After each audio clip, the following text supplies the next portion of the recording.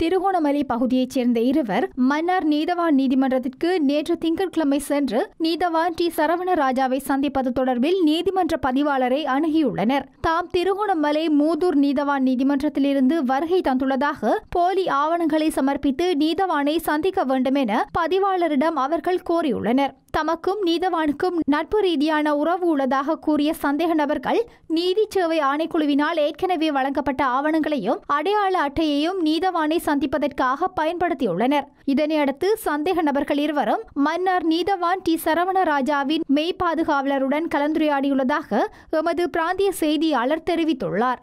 இதன்போது நீதவானுக்கு கொலை அச்சுறுத்தல் விடுக்கும் வகையில் சந்தேக நபர்கள் கருத்துக்களை வெளியிட்ட பின்னர் அங்கிருந்து வெளியேறியுள்ளதாக தெரிவிக்கப்பட்டுள்ளது. இந்த இந்நிலையில் மன்னார் நீதிமன்ற போலீசார் இது தொடர்பில் மன்னார் போலீசாருக்கு வழங்கிய தகவலின் அடிப்படையில் சந்தேக நபர்கள் இருவரும் கைது செய்யப்பட்டுள்ளனர்.